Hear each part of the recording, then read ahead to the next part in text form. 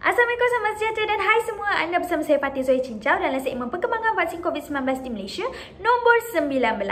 Apa khabar anda semua? Baiklah, antara isu yang akan diketengahkan dalam video kali ini, Malaysia akhirnya berjaya mencapai 500,000 pemberian dos suntikan vaksin setiap hari. Apa yang harus anda lakukan sekiranya anda pasti suntikan yang anda terima itu kosong? Dan banyak lagi isu lain yang akan diketengahkan. Program imunisasi kebangsaan telah mencatat rekod baru vaksinasi harian dengan memberikan lebih daripada 500,000 suntikan sehari. Ia berjaya dicapai pertama kalinya pada 22 Julai yang lalu dengan 507,050 dos vaksin. Vaksinasi tertinggi setakat rakaman video ini adalah 553,871 dos sehari pada 27 Julai. Ini merangkumi 356,112 dos pertama dan 197,759 dos kedua. Selangor memberikan vaksinasi paling tinggi dengan 141,182 dos dalam satu hari. Setakat ini, sebanyak 25% daripada jumlah populasi dewasa Malaysia telah divaksinasi dengan dua dos. Berikutan kebimbangan masyarakat tentang beberapa individu telah mendapat suntikan vaksin kosong, pasukan petugas imunisasi COVID-19 telah mendedahkan bahawa sebanyak 13 laporan polis telah dibuat pada minggu lalu.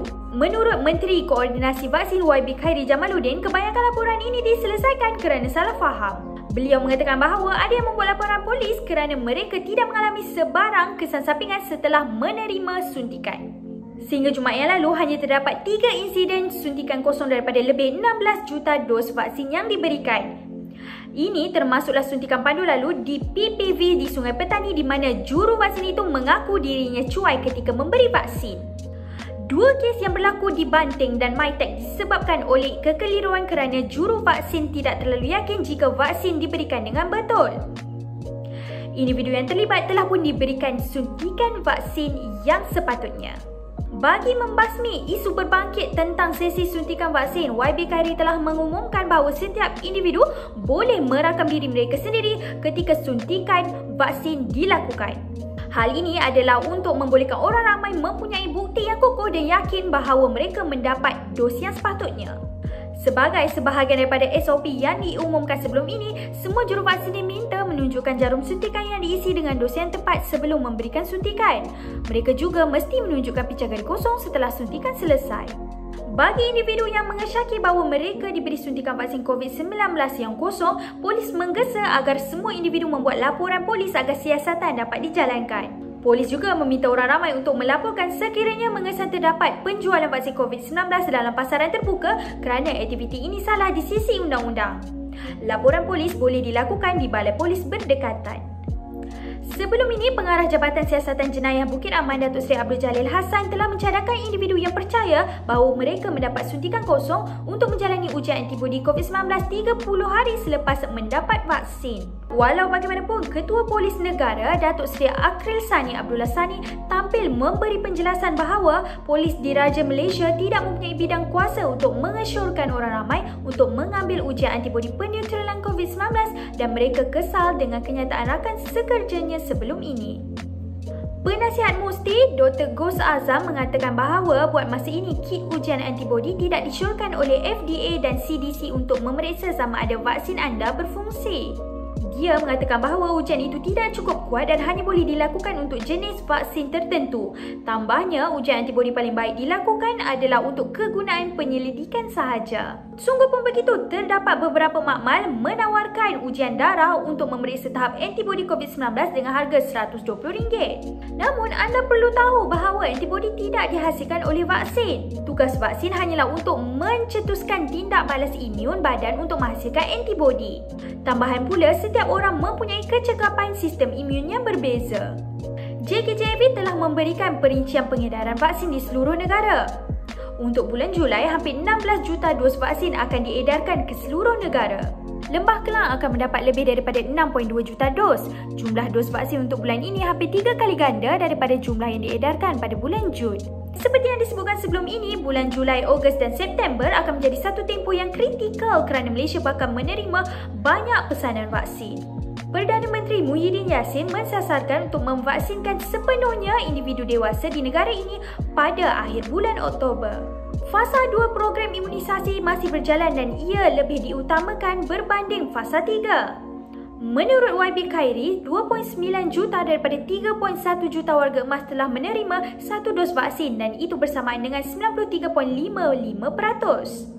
Sementara itu, 289,238 daripada 434,087 individu OKU atau 66.63% telah menerima sekurang-kurangnya satu dos atau janji temu. Malaysia telah melaporkan kes harian melebihi 10,000 selama lebih 2 minggu. Tentu ramai yang bertanya, kenapa masih ramai dijangkiti sedangkan ramai juga yang telah menerima vaksin? Bermula minggu ini, Kementerian Kesihatan telah menunjukkan perincian kes COVID-19 yang mengikut kategori COVID, jumlah pesakit dan sejarah vaksinasi.